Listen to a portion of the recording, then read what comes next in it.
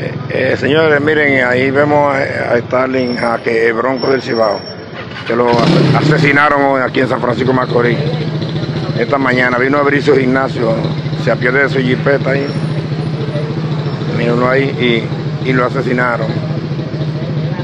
Ya está en el suelo, esperamos que el DICRIN haga las investigaciones, ahora la policía están aquí, policía científica, eso ocurrió aquí en San Francisco Macorís, lamentablemente ahí era el, el, área donde él tenía gimnasio allí y se parqueaba por aquí. Repito, el bronco del Cibao lo asesinaron aquí en San Francisco Macorís.